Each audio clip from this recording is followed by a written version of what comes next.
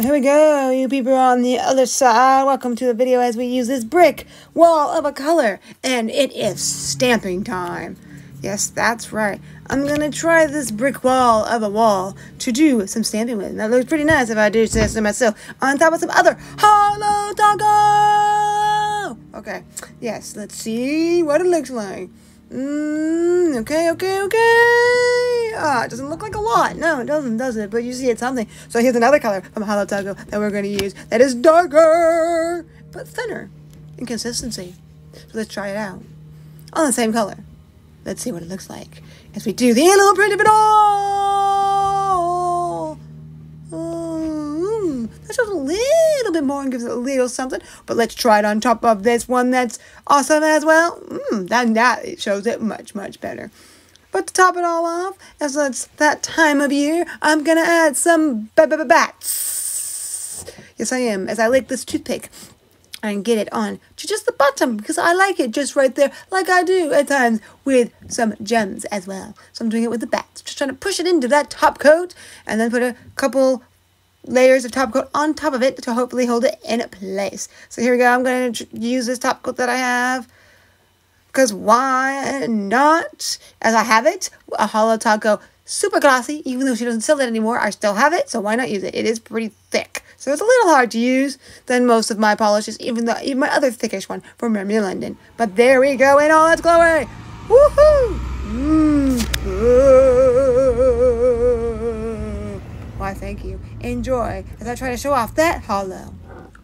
Well, there we go. With those awesome, awesome Holo Taco nails of it all. Yes, I did Holo Taco nails with all polishes from Holo Taco, even to the stamping, as you saw.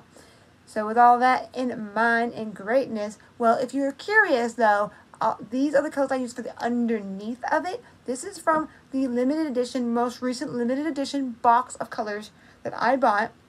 If you want to know more about all those colors, or at least see all five, I have a video of me unboxing it on my channel as well. And I'm doing a few little throughout. You'll be seeing these a fair amount. But the one I used for this one is Bury Me in Holo if you're curious about getting it. I think it might still be available because I did do a recent small restock, so this might still be available.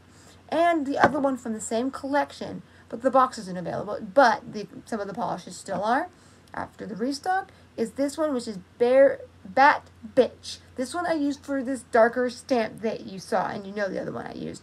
And if you're curious about that one, which is the one I used for the accent, nail, and that one looked really, really good with it on top because of this color accented really well with it. I used this one, which is called Beach Please. The consistency of this polish is like holographic sand. It even crinkles, and it's really, really thick and nice in hot and the sparkle. So this is like a thick sparkle that's going to be one of those chunky sparkles. But yeah, that's the colors that I used. So you know, if you're curious about the underneath colors and one of the stamping colors. So that's all of that. If you did enjoy this video, please give it a nice big thumbs up. And of course, if you are new, hit that subscribe button because that would be great. Always love to see new people. And if anything you'd like to say, comment just in general, comment down below would be great. But on that note, as you go watch some other videos and do whatever you're going to do, you people on the other side, I thank you for coming. Till next time, sparkle, sparkle, bye.